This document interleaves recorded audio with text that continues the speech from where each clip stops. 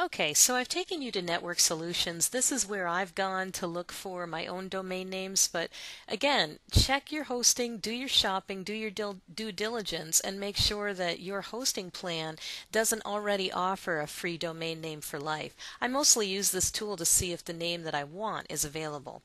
Another tool I'm going to bring you out to that doesn't cost you anything is RV Site Builder's um, Sandbox. And that's a really great place for you to go to just start exploring RV Site Builder.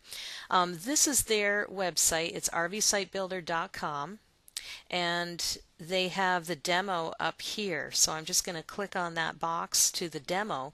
And this is great. I can click on this um, to see the demo. You can see they've got a username and a password here. So I just click to see the demo. And while that's loading, you can see that this is the control panel for your hosting. Okay, so Midphase hosting looks a lot like this. There are some other um, hosting providers out there that carry RV Site Builder, but I just wanted you to know that Midphase is the one I've really enjoyed using. I've had them since 2004. I've been very happy with the service, customer support. That's really important to me is somebody I can reach out to after the sale. So as I scroll through here, you can see there are a lot of capabilities in here. Um, they have some email account information. They've got a SpamAssassin in here. So as you can see, there's an autoresponder, which we'll get into for our marketing piece um, in the second video. And I'm going to scroll to the bottom because the thing we're focused on is just building our website right now. We'll put on the shutters and the window dressing in a little bit. But right now, I just want to build it. And this is a great way you can practice to see if this is all going to gel for you. Totally free. They show you how to get started. Um, so what you can do is you just click here to get started. And you'll notice that there are seven steps in creating your website. And each step they take you through one by one. So I can just go in here and say XYZ project. You can name it anything you want. Um, website title, I leave these three blank.